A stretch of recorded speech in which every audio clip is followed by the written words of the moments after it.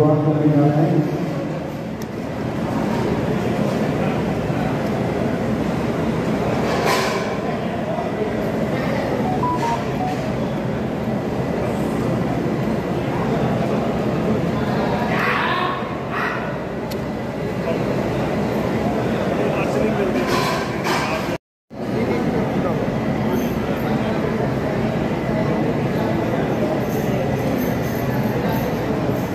शक्ति के प्रति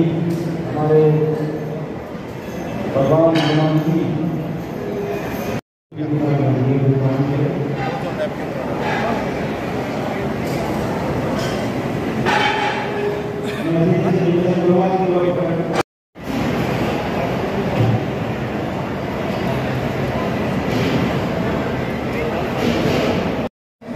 Punjab Rafi some clear and clear push and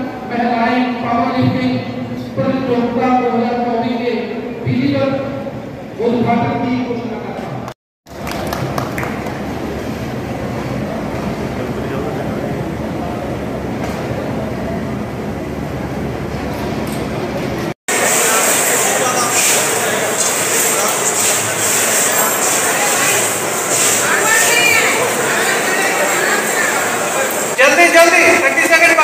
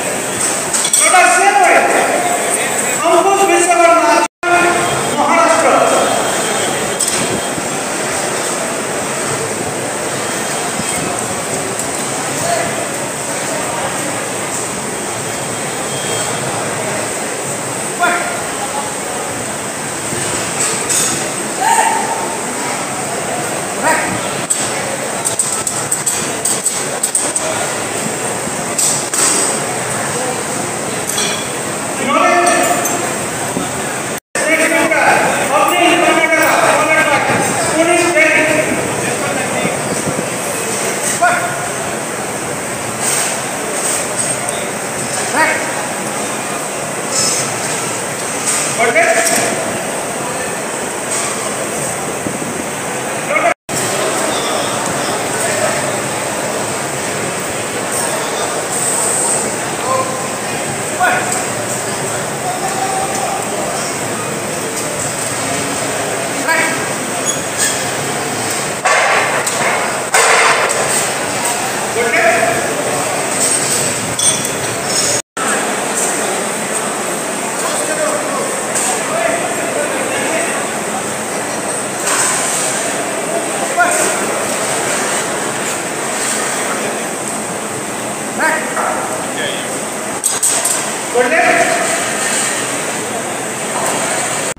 ਦੇਖੋ, ਸਭ ਤੋਂ ਪਹਿਲਾਂ ਮੈਂ ਜਿਹੜੇ ਆਰਗੇਨਾਈਜ਼ਰ ਨੇ, ਮੇਰੇ ਸਾਹਿਬ ਹੋਰ ਜਿੰਨੇ ਸਾਥੀ ਆਰਗੇਨਾਈਜ਼ਰ ਮੈਂ ਉਹਨਾਂ ਨੂੰ ਮੁਬਾਰਕਬਾਦ ਦਿੰਦਾ, ਜਿਨ੍ਹਾਂ ਨੇ 28 ਸਟੇਟਾਂ ਦੇ ਬੱਚੇ ਜਿਹੜੇ ਇੱਥੇ ਬੁਲਾ ਕੇ ਜਿਹੜੀ ਚੈਂਪੀਅਨਸ਼ਿਪ ਹੈ ਜਿਹੜੇ ਕਰਾ ਰਹੇ ਨੇ, ਜਿਹਦੇ ਵਿੱਚ ਸਬ ਜੂਨੀਅਰ ਜੂਨੀਅਰ ਤੇ ਓਪਨ ਦਾ ਜਿਹੜੇ ਮੁਕਾਬਲੇ ਕਰਵਾਏ ਜਾਣਗੇ। ਔਰ ਮੈਂ ਸਮਝਦਾ ਇਹ ਸਾਡੇ ਵਾਸਤੇ ਬਹੁਤ ਇੱਕ ਜ਼ਰੂਰੀ ਹੈ ਕਿਉਂਕਿ ਖੇਡਾਂ ਜਿੱਥੇ ਸਾਡੇ ਵਾਸਤੇ ਸਰੀਰ ਤੰਦਰੁਸਤ ਰਹਿੰਦਾ, ਉੱਥੇ ਜਿਹੜੇ ਨਸ਼ਿਆਂ ਤੋਂ ਜਿਹੜਾ ਦੂਰ ਰਹਿੰਦਾ ਇਨਸਾਨ। ਔਰ ਦੂਜਾ ਹੈਗਾ ਕਿ ਸਰਕਾਰ ਵੱਲੋਂ ਵੀ ਉਪਰਾਲੇ ਕੀਤੇ ਜਾ ਰਹੇ ਨੇ ਕਿ ਬੱਚਿਆਂ ਨੂੰ ਜਿਹੜਾ ਵੱਧ ਤੋਂ ਵੱਧ ਖੇਡਾਂ ਨਾਲ ਜੋੜਿਆ ਜਾਵੇ, ਤਾਂ ਕਿ ਖੇਡਾਂ ਦੇ ਸਿਰ ਤੇ ਵੀ ਬਹੁਤ ਸਾਰੇ ਬੱਚੇ ਨੇ ਜਿਹੜੇ ਇੱਕ ਚੰਗਾ, ਉੱਚਾ ਮੁਕਾਮ ਜਿਹੜਾ ਹਾਸਲ ਕਰ ਰਹੇ ਨੇ। ਸੋ, ਅੱਜ ਦੇ ਇਸ ਪ੍ਰੋਗਰਾਮ ਦਾ ਉਦਘਾਟਨ ਸਮਾਰੋਹ ਦੇ ਵਿੱਚ ਪਹੁੰਚਿਆ। ਸੋ, ਉਦਘਾਟਨ ਕੀਤਾ ਔਰ ਬੱਚੇ ਖੇਡਣ ਔਰ ਚੰਗਾ ਮੁਕਾਮ ਹਾਸਲ ਕਰਨ ਸਰ, ਲਗਾਤਾਰ ਪੰਜਾਬ